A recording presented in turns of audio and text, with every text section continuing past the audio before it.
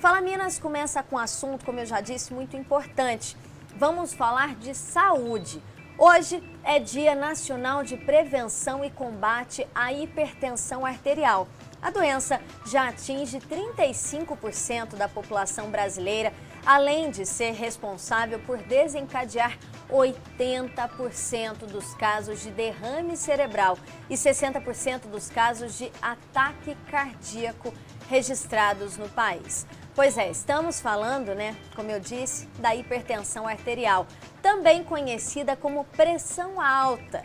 Essa doença pode acometer crianças, adultos, adolescentes e idosos de ambos os sexos, viu, gente? Inclusive, você que está acompanhando o Fala Minas deve com certeza conhecer alguém que toma medicação todos os dias para né, controlar a pressão, né?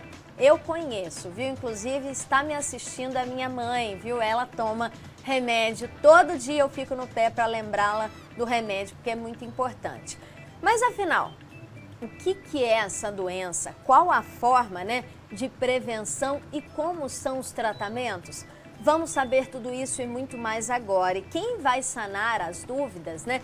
É o médico cardiologista Armando Martins. Boa tarde, doutor. Bem-vindo. Muito obrigado, bem-vindo. Eu fico muito feliz de estar aqui nesse programa e responderam, se possível, de maneira mais clara e, e fácil as perguntas que forem formuladas. Vamos lá, né? Já tira uma dúvida para a gente. O que, que a gente pode entender por hipertensão arterial? Bom, hipertensão arterial é uma fórmula matemática, né? É, é uma fórmula fluxo vezes resistência. Fluxo de sangue, que é impulsionado pelo coração, contra a resistência que é dada pelos vasos sanguíneos. Então, pressão arterial, por isso que ela existe duas. A pressão arterial sistólica, que é a mais alta, e a pressão arterial diastólica, que é a mais baixa. Então, quando você fala em pressão, você vai falar sempre assim, 12 por 8, né? 12 por 8, 120. 12 é a pressão sistólica e 8 é a pressão diastólica. Claro que nós podemos ter a chamada pressão arterial sistólica isolada e às vezes elevações da pressão diastólica também isolada. Todas, todas estão englobadas no terreno da hipertensão, cada uma com as suas características. A 12 por 8, né, que o senhor já comentou aqui, doutor, normalmente é a que mais o brasileiro tem costume de falar, ah, minha pressão é tranquila, é 12 por 8. Quando que a gente já começa a se preocupar com uma pressão alta? A partir de que número aí? Bom, existem algumas, algumas, as diretrizes, elas variam um pouquinho, mas vamos falar assim, a pressão acima de 13, de 130 e acima de 8.9, a gente pode considerar hipertensão arterial. E aí, nesse caso, né, quais são os sintomas? A gente sabe que ela é uma doença um pouco silenciosa, né? Mas ela manifesta, sim, alguns sintomas. O que, que a gente pode perceber já de imediato? Bom, grande, a grande tristeza é que de imediato a gente não percebe muita coisa. Grande parte dos pacientes hipertensos a gente vai descobrir porque eventualmente são obrigados a fazer algum exame, ou para o clube, ou para exames admissionais, ou para reformar a carteira de motorista. E aí o camarada vai reformar a carteira de motorista e fala assim, não pode, você está com a pressão muito alta.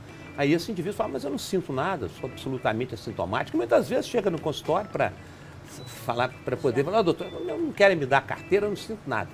E realmente, grande parte, vamos dizer, 60 a 70% dos hipertensos não sentem nada. É claro que existem alguns sintomas que são muito difíceis de perceber.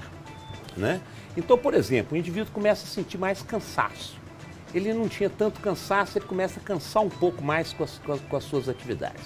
Existe também uma certa cefaleia, que a gente chama uma dor de cabeça, que é mais comum na região occipital, mas também pode ser difusa na cabeça. Acontece que muitas vezes também você pode sentir um pouco de tonteira, você pode sentir um pouco de mal-estar, às vezes em vez de cefaleia, peso na cabeça. Quer dizer, são sintomas inespecíficos, porque esses sintomas são comuns a várias patologias. É, principalmente a dor de cabeça. A gente Sim. sabe que no dia a dia, correria, às vezes num estresse ali, a gente tem uma dorzinha de cabeça e nem percebe, então, que é a pressão que está diferenciada. É, e o caso da dor de cabeça é mais incrível ainda, porque você sabe que uma dor de cabeça forte, por exemplo, uma enxaqueca, Você pode ter uma dor forte e a pressão pode subir. Aí vem aquela história, o que, é que veio primeiro, a galinha ou o ovo? Né? Quer dizer, você está com dor de cabeça porque você está hipertenso ou a sua pressão subiu porque você teve dor de cabeça.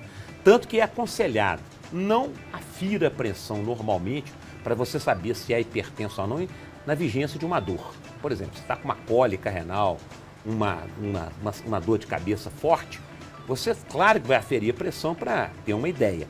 Mas isso não, não quer dizer que você seja hipertenso. Porque quando você tem uma dor, os vasos, a, a, a, as substâncias catecolominérgicas, elas promovem uma vasoconstrição. E isso aumenta a pressão.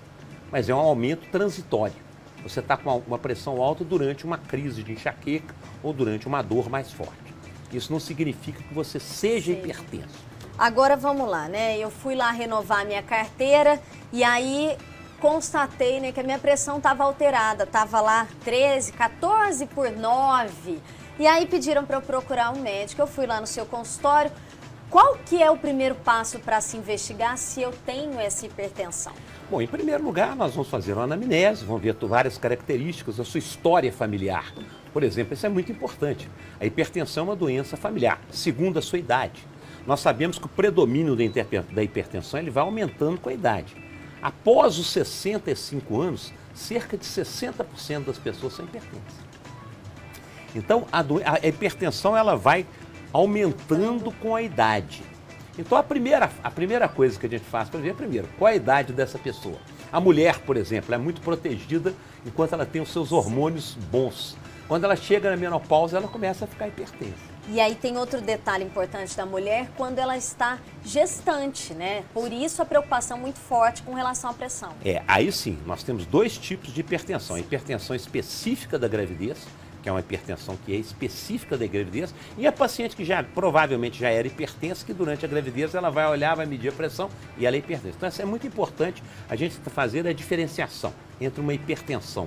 Hoje, por exemplo, vou dar uma preâmbula, as mulheres estão engravidando um pouco mais tarde.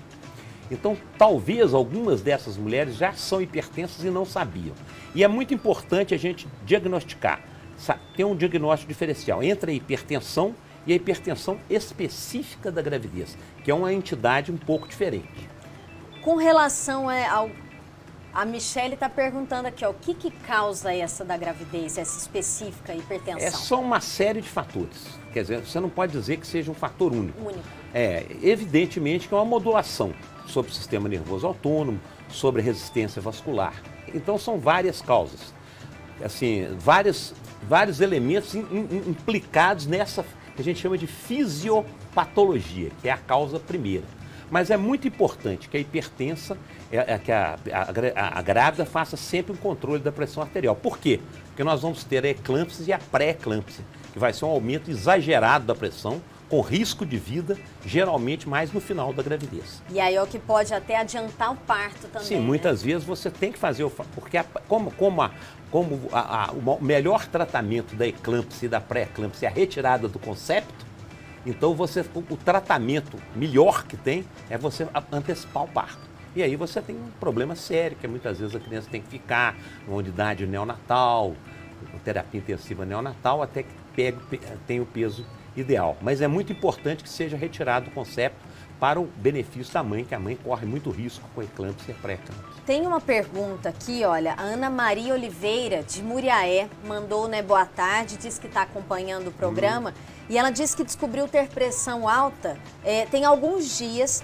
mas ela quer saber né, quais são as atividades físicas, os esportes mais indicados para ela praticar e quem pode né, ajudar nesse controle da. E, né, e como esse, essa prática esportiva pode ajudar nesse controle arterial. Ela até colocou aqui que ela tem 45 anos, é a Ana Maria Oliveira de Muriaé. Pois bem, Ana. Você primeiro vai ter que é, certificar que o seu diagnóstico esteja correto. Uma das coisas que acontece muito e que é importante a gente falar é a, a chamada. Vamos, vamos, vamos tentar fazer uma classificação didática. Você, quando vai no consultório do médico, você foi lá na, ela foi lá a, a verificar a pressão e, a primeira coisa que nós temos que saber é se existe um fenômeno que chama hipertensão do avental branco. A, pressão, a pessoa fica hipertensa ao consultar e ela normalmente não é hipertensa. A segunda opção é o paciente realmente ser hipertenso e, naquele momento, estar hipertenso. A terceira opção é ele não ser hipertenso, que seria. E a, ter, e a quarta, que é uma muito perigosa, é a chamada hipertensão mascarada. É a pessoa que no consultório médico está com a pressão boa, mas ela tem pressão alta no dia a dia. Um exame muito importante que a gente pede chama-se MAPA, Monitorização Ambulatorial da Pressão Arterial. É um aparelhinho que vai ficar 24 horas medindo a pressão. Se, se, se dentro das 24 horas o aparelho, a, a, essa, esse, esse exame demonstrar alteração, que você realmente tem níveis pressóricos elevados, ou seja, sua carga pressória sistólica ou diastólica é superior a 55% do tempo, você vai ser considerado hipertenso. A partir daí, existem uma série de exames que devam ser feitos. Primeiro, nós temos que ver se você tem. A coisa mais importante é afastar as causas secundárias de hipertensão. Por exemplo, se for uma jovem estiver começando a tomar anticoncepcional, você tem que saber se você vai ter que retirar o anticoncepcional e ver se a pressão controla. Se você estiver usando corticoide, anti-inflamatório, vasos constritores nasais, eles podem estar causando isso Tudo também. Tudo isso pode alterar, então. Drogas, como o álcool em si, a álcool droga. em excesso, é, cocaína e algumas outras drogas podem provocar isso. Então nós temos que fazer primeiro, através da anamnese no consultório, você verificar se existe alguma causa secundária de hipertensão. Se não houver, é a hipertensão essencial, que é a mais comum. Vai ser em torno de 88% das hipertensões. Aí você vai fazer o mapa, de preferência, para você ver se não existe a chamada efeito do avental branco. E fazendo o mapa e constatado que você tem hipertensão, e nós temos várias maneiras de tratar. A primeira, medidas gerais. Se o paciente está obeso, com sobrepeso acima de cima, nós vamos estimular uma dieta, procurar uma nutricionista, fazer uma dieta e fazer exercício físico. Exercício físico é claro que é importantíssimo para o tratamento da pressão arterial, porque ele vai ajudar a controlar o peso, vai melhorar a vasodilatação periférica, mas isso sozinho não resolve. Porque muitas vezes o paciente fica numa coisa que a gente chama inércia. Ele fica tentando baixar o peso, fica tentando fazer exercícios físicos que são importantes, devem ser feitos. Mas às vezes essas duas medidas que são significativamente importantes, elas não resolvem. E aí é a hora de entrar, tomar os medicamentos. E é muito importante que você trate o mais rapidamente possível e controle a pressão mais rapidamente possível. Não é, não é de emergência. Porque existe um estresse um, um muito grande dos pacientes. O paciente, você prescreve um remédio, ele toma no primeiro dia, no segundo dia, ele já fala, ó, oh, minha pressão não baixou. Isso não é assim. Nós temos um tempo de espera, os medicamentos eles agem em receptores, então existe um tempo para que a pressão controle. Muito bem. O que, que é importante que você faça? Primeiro, você tem um tempo para observar se o tratamento vai, vai, ser, vai ser bom. Se isso não acontecer, você vai aumentar as doses, você vai combinar medicamentos. Agora, existe a chamada emergência hipertensiva. Aí existe o que, que é emergência hipertensiva? É quando você tem sintomas associados ao, ao, ao aumento da pressão. Por exemplo, dor no peito forte. Por exemplo, cefaleia muito intensa. Falta de ar, talvez? Falta de ar pode ser congestão pulmonar por falta de ar e, o mais importante, convulsão pode acontecer. Então aí você vai ter, vai ter as chamadas emergências hipertensivas, que pode ser emergências hipertensivas ligadas ao coração, ligadas ao cérebro, né, e ligadas aos vasos periféricos. Quando houver uma, uma emergência hipertensiva, há necessidade de internamento hospitalar e um tratamento adequado daquela pressão com medicação injetável, medicação que você ministra e consegue regular a pressão de acordo com a dose do remédio que é ministrado gota a gota. Então é, é muito difícil. Agora, existem as chamadas pressões altas por estresse. Então, o paciente não tem nenhum sintoma de emergência hipertensiva, chega no pronto-socorro ansioso e quer baixar a pressão rápido. Isso já não é, não é, não é muito bom. Você não deve baixar rapidamente a pressão, a não nem, nem a própria emergência hipertensiva você deve baixar tão rápido. Você deve baixar progressivamente até um nível que ofereça uma, uma certa segurança. Então essas pessoas às vezes vão no pronto-socorro e ah, mas eu quero sair do pronto-socorro com minha pressão boa. Não é bem assim. O importante é que você receba orientação, seja afastado o que a gente chama de lesão aguda em órgão-alvo. Se você não tiver uma lesão aguda, se não tiver com risco de vida, você deve baixar a sua pressão? Sim, o mais rápido possível, sim. Porém, de uma maneira escalonada, tranquila. Legal. E olha só, gente, ainda falando sobre esse assunto, né? A nutricionista Ana Paula Brown gravou um vídeo, né, com dicas muito importantes sobre o que é preciso evitar na prevenção da hipertensão arterial, quando o assunto é alimentação. Vamos acompanhar.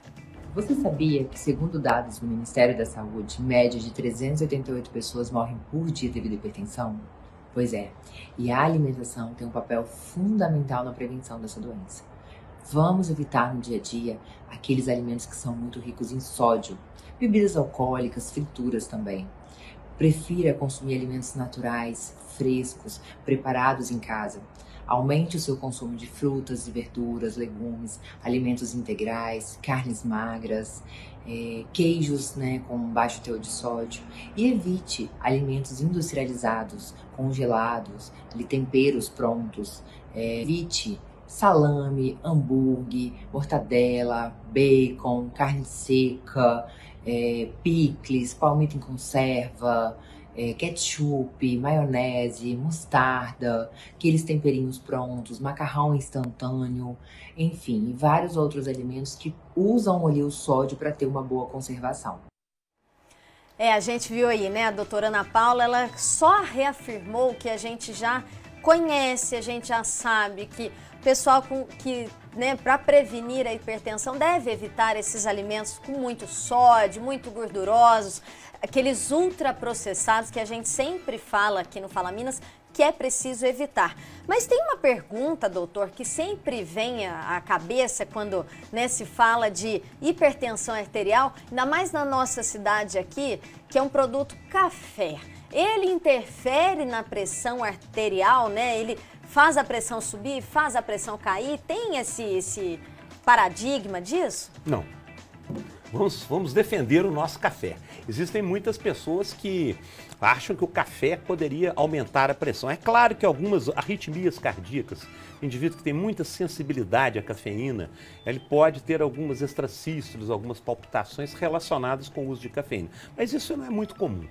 Existe um trabalho que foi feito até muito interessante, é, foi feito no INCOR, mostrando que o café, o consumo de café, não está relacionado com o aumento dos níveis da pressão arterial.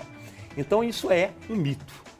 Legal. É, é claro que em tudo a gente tem que ter um, um, um, um uh, nunca foi testado uma quantidade absurda mas também é, a gente tem que pensar que a grande maioria das pessoas não vão consumir uma quantidade absurda de café. É o bom senso, né? A gente tem que consumir, consumir ali nosso cafezinho do dia a dia Como sem tudo. exagero. Nem água a gente pode tomar muita. Né? Exatamente. Outra pergunta aqui, né?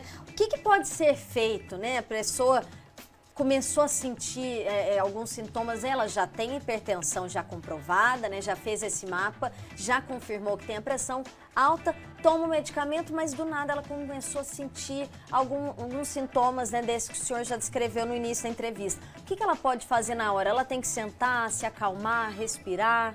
Não, se for um sintoma grave, dor no peito, é, é, convulsão, ponteiras fortes, sensação de visão dupla, a pessoa tem que procurar um pronto-socorro. Isso quanto aí, antes. Quanto antes.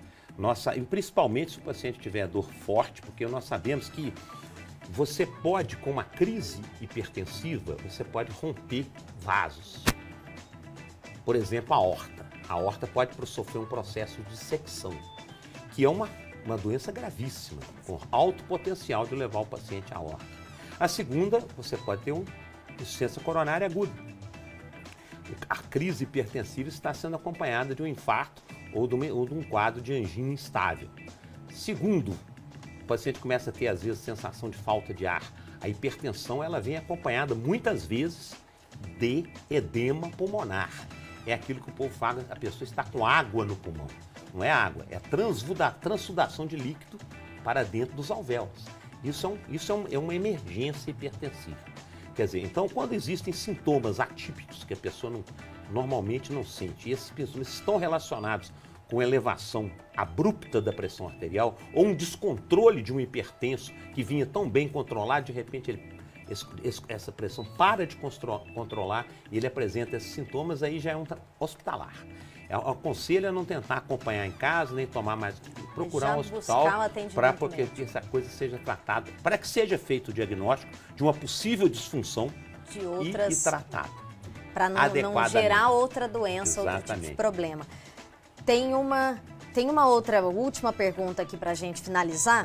É. É, Leandro de Botelhos, ele mandou até no meu Instagram aqui perguntando se é verdade ou mentira que tomar banho com água mais gelada faz com que a pressão suba. Sim, porque pode promover, promover vasoconstrição periférica.